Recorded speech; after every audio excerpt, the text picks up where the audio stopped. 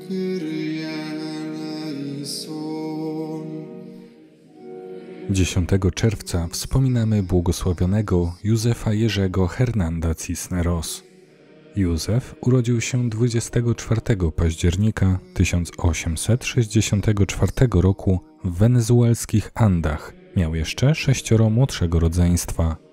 Jego matka zajmowała się prowadzeniem domu i wychowywaniem dzieci, a ojciec był kupcem i właścicielem sklepu z artykułami spożywczymi i apteki. Sakrament chrztu przyjął 30 stycznia 1865 roku, a sakrament bierzmowania dwa lata później. Gdy Józef miał 8 lat, zmarła jego matka. Naukę podjął w miejscowej szkole, był wybitnym uczniem. W wieku 13 lat chciał studiować prawo, ale ojciec przekonał go do studiowania medycyny. Józef miał 13,5 roku, gdy udał się w daleką podróż do Caracas, stolicy Wenezueli. Prestiżową szkołę średnią skończył z wyróżnieniem i jeszcze jako uczeń udzielał korepetycji młodszym kolegom. W wieku 17 lat rozpoczął studia medyczne. Był najwybitniejszym studentem. Józef znał biegle łacinę i hebrajski, a także język angielski, francuski, portugalski, niemiecki i włoski. Język hiszpański był jego rodzimym. Nadal udzielał korepetycji i jeszcze sam się uczył sztuki krawieckiej u znajomego krawca. Był wszechstronnie wykształcony. Po uzyskaniu dyplomu Józef wrócił do rodzinnej miejscowości w Andach i podjął praktykę lekarską, gdyż dotąd nie było tam lekarza. Początki pracy były trudne, gdyż ludzie byli przyzwyczajeni do praktyk szamańskich, przez co byli nieufni wobec Józefa.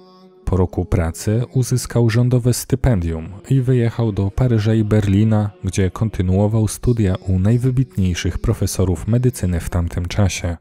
Po dwóch latach powrócił do Wenezueli jako wybitny specjalista zaopatrzony w najnowszy sprzęt medyczny. To on przywiózł m.in. mikroskop i uczył studentów korzystania z niego. Został profesorem na Centralnym Uniwersytecie Wenezueli w Caracas. Tam tworzył podwaliny medycyny i studiów medycznych w Wenezueli. 14 września 1909 roku Józef został mianowany profesorem katedry praktycznej anatomii patologicznej. Był także założycielem katedry bakteriologii, pierwszej w Ameryce i pierwszą osobą w Wenezueli, która opublikowała pracę z tej dziedziny.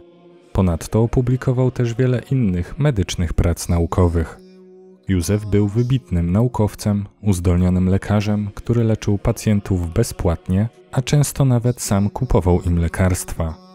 Był u szczytu sławy, jednak pragnął zrealizować swoje powołanie w życiu zakonnym, w zakonie ojców Kartuzów o wyjątkowo surowej regule. W tym celu wyjechał do Włoch, ale po ośmiu miesiącach pobytu w klasztorze, ze względu na stan zdrowia musiał powrócić do Wenezueli. Druga próba skończyła się tak samo. Wtedy Józef wrócił na uniwersytet i kontynuował pracę dydaktyczną. W 1917 roku kontynuował studia w Nowym Jorku i Madrycie. Józef należał do franciszkańskiego zakonu świeckich w Wenezueli przy kościele ojców kapucynów w Caracas. Gdy w 1918 roku wybuchła pandemia grypy hiszpanki, chodził do chorych, by udzielać im pomocy medycznej. 29 czerwca 1919 roku w godzinach popołudniowych Józef wyszedł z domu, aby pomóc chorej kobiecie. Na ulicy potrącił go samochód.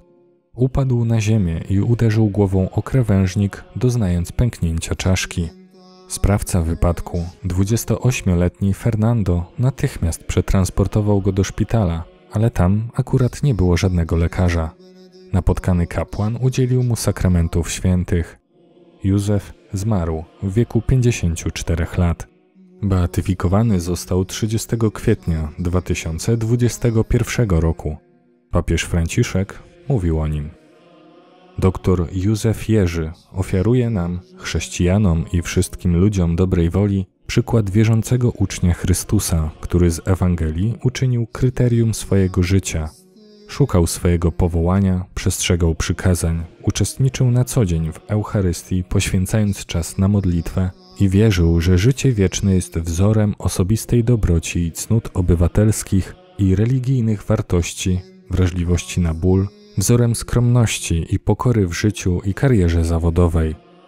Józef jest też wzorem świętości, zaangażowanym w obronę życia w obliczu wyzwań historii, a zwłaszcza jako wzór służby innym, jak dobry Samarytanin, nikogo nie wykluczając, jest człowiekiem powszechnej służby. Módlmy się.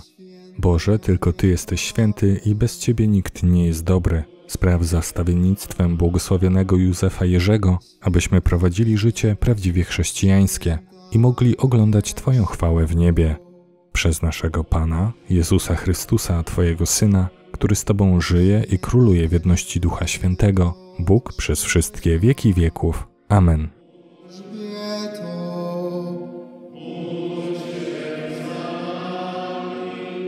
Wszyscy święci, święte Boże.